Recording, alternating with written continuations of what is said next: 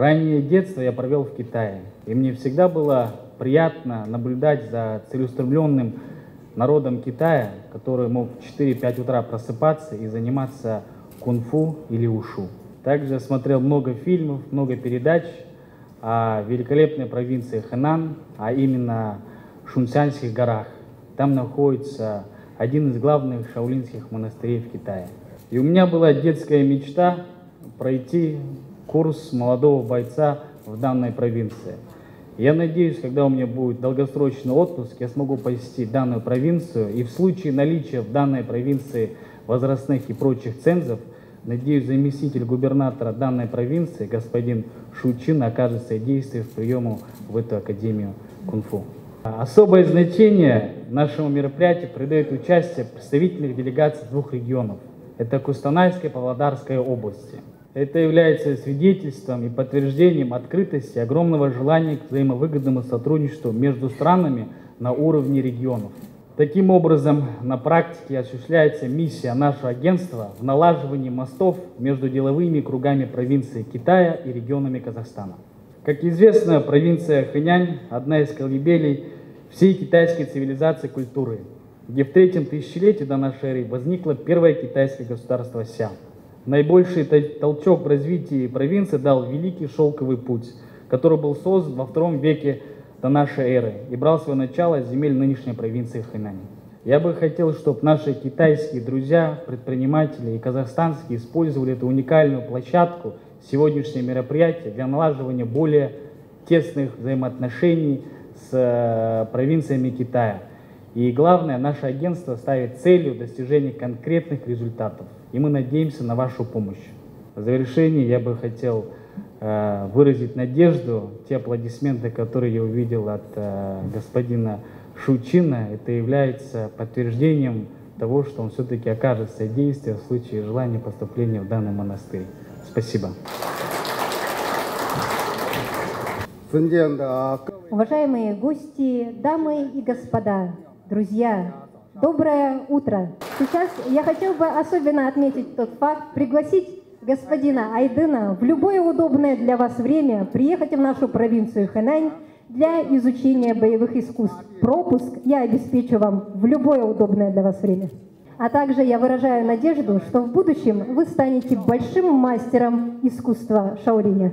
В первую очередь, позвольте мне от имени правительства провинции Хэнань поздравить всех с проведением церемонии открытия Дня провинции Хэнань в китайском павильоне Экспо-2017, а также искренне поприветствовать всех присутствующих сегодня на мероприятии гостей, представителей национальных павильонов, средств массовой информации, а также выразить благодарность всем китайским и зарубежным друзьям за то внимание и поддержку, которое вы оказываете нам на протяжении длительного периода времени.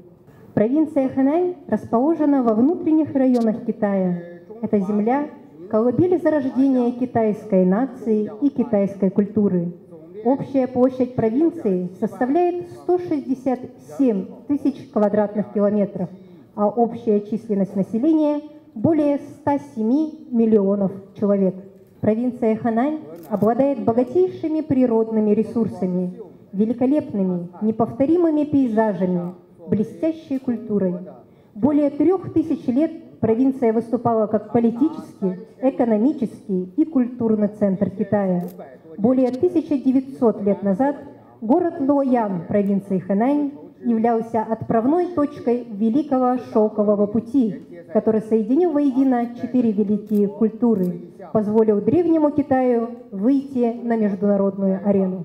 Пройдя через 40-летний путь развития китайской политики реформы и открытости, современный Хэнань уже стал одной из ключевых провинций Китая в сфере сельского хозяйства, экономики и новых отраслей промышленности, важнейшим современным узловым транспортным хабом и центром логистики.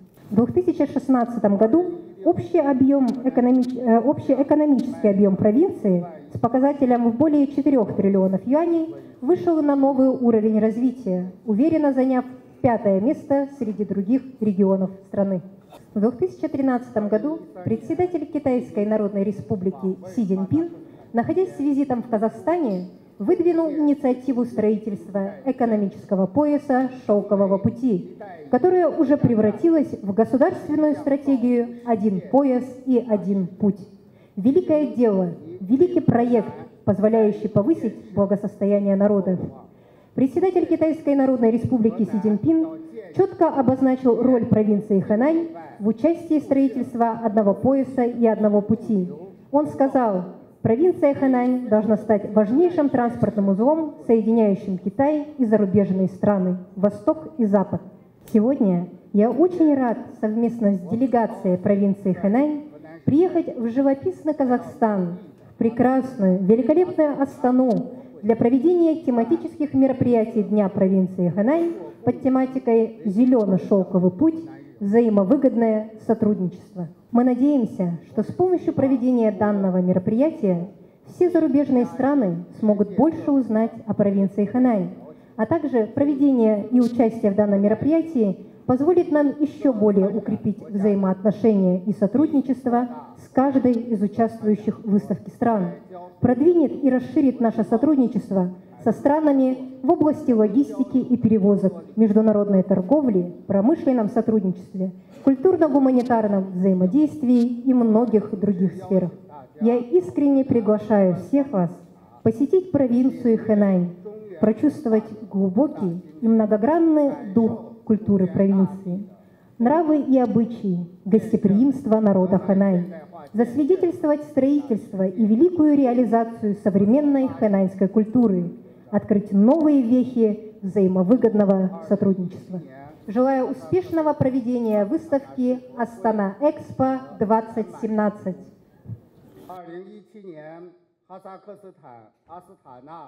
Объявляю церемонию Дня провинции Хэнань в китайском павильоне